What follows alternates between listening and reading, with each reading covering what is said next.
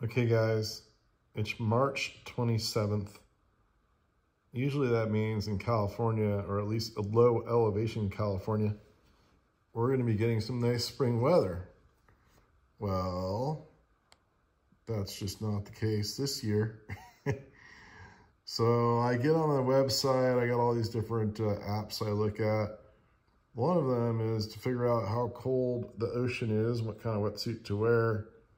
I get on the Scripps Pier sea temperature page and look, it's 58.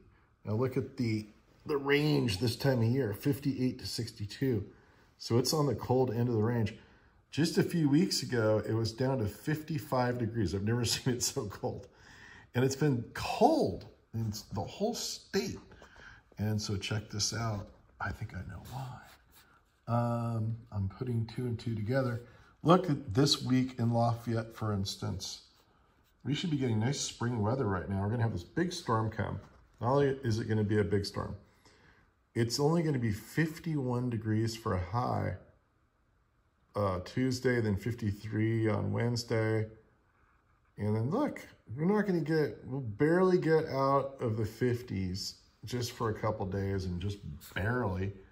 And uh, I guess it warms up a little bit toward the end of the forecast. But this is how the whole winter has been. It's been just cold, cold, cold, cold, cold.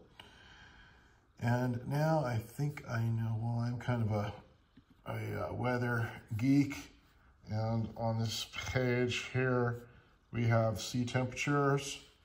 Let's see the sea temperatures here. Uh, they're in Celsius, so it's kind of hard to like translate. But anyway, you can kind of see what happens here uh, the uh, cold water comes down from the north. It's because the earth is turning and the water is trying not to.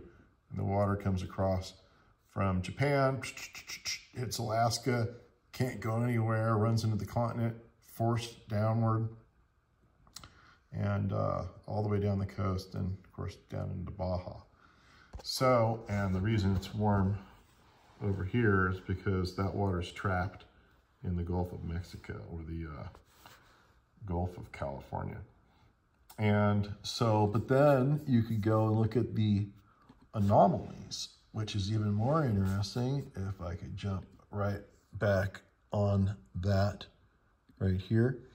And we can see the anomalies, which is even more interesting. And it tells the story of why California is so darn cold this year. Look at this. These are the anomalies. This is like the negative one degrees Celsius. It's like two or three degrees Fahrenheit. Um, and there's some patches. This was actually worse not too long ago. See negative two Celsius, negative two Celsius. Uh, all the blue is negative one. And you can see that extends all the way from Baja all the way up into Oregon. So we have this massive big pool of extra cold water off our coastline, and that's hugely dominating our, it's based, this year I've basically call this winter the California mini ice age. Like all of the coastal mountains I flew over, I'll put a link to a video I did. I flew from Oakland, did a U-turn, came through San Francisco, was taking some aerial photography, went right by, right over Carmel, and right over the Central Coast Mountains. There's never snow there. I've never seen snow there. Um, and then uh, caught a little glimpse of mountains in LA with snow, then got cloudy. Didn't see any of these mountains in San Diego, but they had covered in snow. And right now the Sierra, uh, the Southern Sierra has uh, almost 300% of annual snowfall total already, nearly 300%, three times more than it normally is.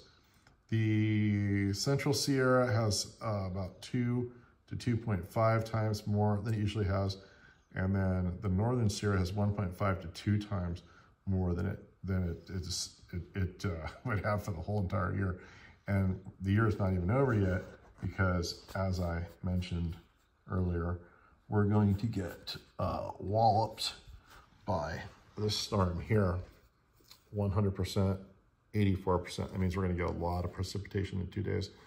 And uh, it looks like the extended forecast, we will get a little bit of wet. Hopefully this is gonna be the end of it because we have, we have more than we need now. And uh, yeah, it's pretty interesting stuff. I will uh, put some links on this video in the description box. And um, if you're interested in all this geeky stuff that I am with weather and that sort of thing, then uh, you can have somewhere to go. And uh, that's pretty much it. Just chilling, trying to stay warm. He's trying to stay warm too. Yeah? That's Pufflump. He's trying to stay warm.